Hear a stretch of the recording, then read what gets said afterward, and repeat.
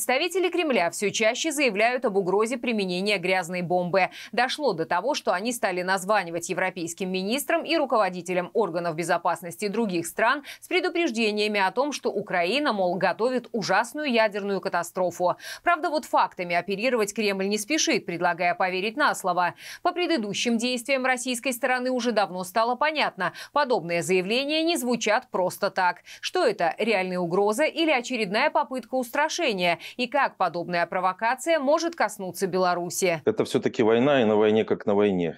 Э, мы должны исходить из того, что если у сторон есть какое-то оружие, и они по каким-то причинам его пока не используют, но может настать момент, когда они его используют, смогут или решатся использовать. Это ведь не дуэль благородных джентльменов, которые выбирают секундантов, выбирают оружие и только этим оружием, значит, э, ведут дуэль. Это совершенно другая история. Это первое. Второе, я думаю все-таки, что пока э, это не грязная бомба, это информационная бомба, которую э, Россия пытается подорвать на Западе э, с тем, чтобы, во-первых, обвиняя Киев в том, что он создает грязную бомбу, дискредитировать Киев э, в глазах Запада, но и в большей степени, э, потому что дискредитация в данных условиях э, сложная задача, все-таки для Запада понятно, кто есть агрессор и кто в любом случае несет ответственность,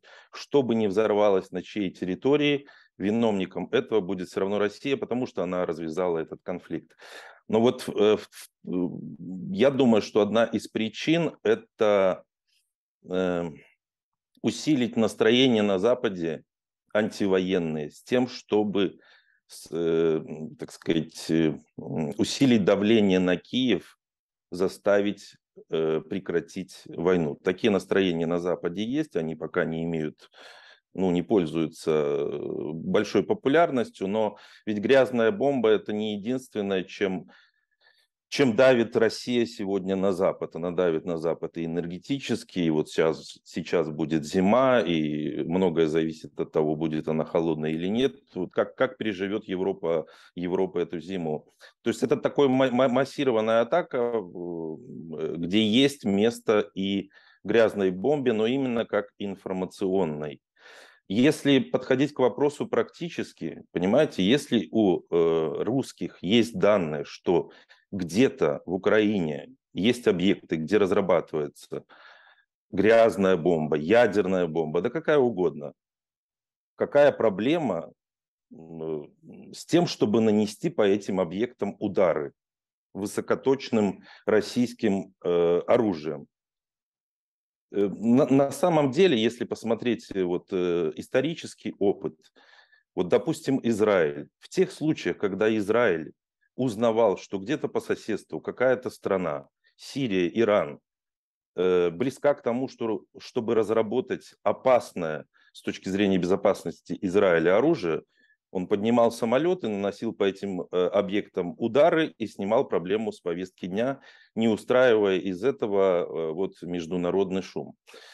Поэтому с моей точки зрения пока все-таки, я думаю, это международный, э, это информационная бомба прежде всего. Это способ давления, э, массированного давления э, на Запад. И то, что за это дело берется сам Шойгу, это, в общем-то, призвано подчеркнуть, что вроде как это все серьезно.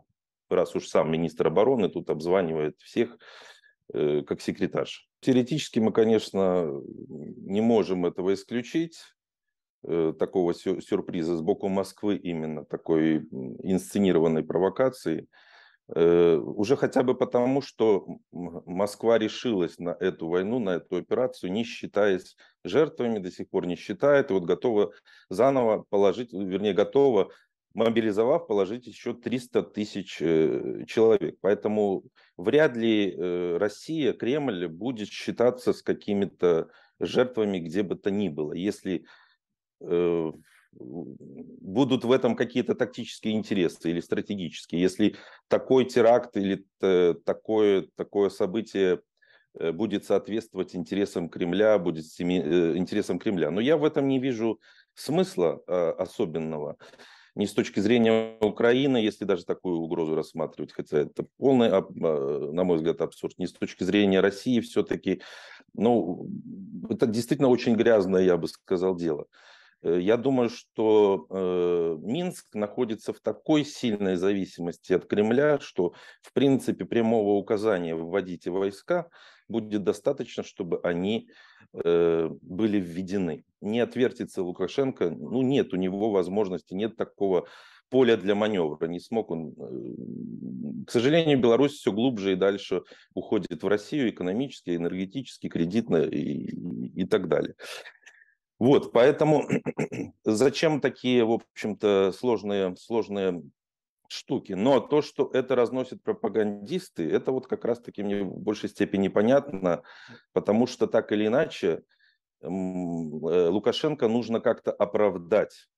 И Путину нужно как-то оправдывать это все, представляя украинцев некими злодеями, нацистами, фашистами, представляя э, их э, страной, которая там, стряпает ядерное оружие или грязную бомбу и этим угрожает всему региону. То есть это банальное, банальное оправдание, прикрытие своих агрессивных планов, намерений, прикрытие войны. Им нужно постоянно находить э, э оправдание. Вы понимаете, до сих пор же никто не понимает, какие цели у этой войны. То есть я, э, даже Путин перестал об этом говорить. Они изначально звучали очень фальшиво, придумано, натянуто. А сейчас и вовсе непонятно. Вот э, зачем эта мобилизация? Чтобы сделать что? Чтобы пойти куда? Чтобы...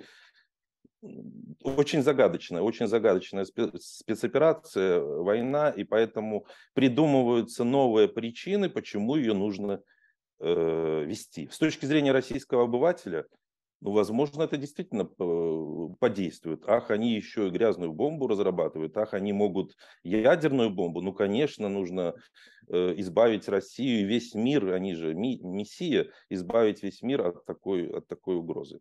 Ну, а наши поддакивают просто-напросто. Больше о последних событиях в Беларуси вы всегда можете узнать на нашем сайте. Читать все новости и статьи без VPN можно при помощи нашего мобильного приложения. Все ссылки в описании.